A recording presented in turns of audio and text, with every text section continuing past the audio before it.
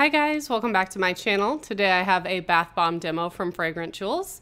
This is their Sweetheart Bath Bomb. Looks like a conversation heart and it is stamped Be Mine on top. I think it would have been fun if they put out a bunch of different ones of these, different colors, different sayings on it, like actual conversation hearts. That would have been really cute. But this is the only one that they put out.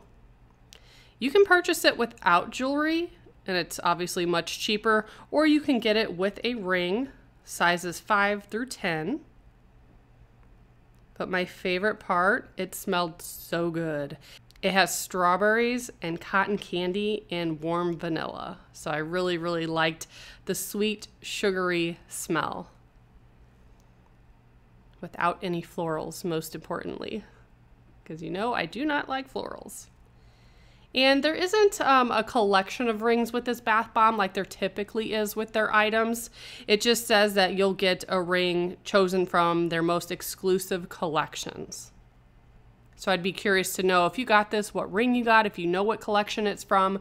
The one I received, it doesn't look familiar to me. I'm not placing the collection, but boy, is it gorgeous. I love the detailing on the side and how they managed to make this look like a flower. That looks so cool. It has a very pretty center stone that is pink. And I feel like it does scream Valentine's Day. It's absolutely adorable. It appraised for $25, 25 reward points, nothing additional was won. But if you'd like to pick up this bath bomb or any other items for Fragrant Jewels, check out the description box below for a link and a promo code. Thanks so much for watching. Bye guys.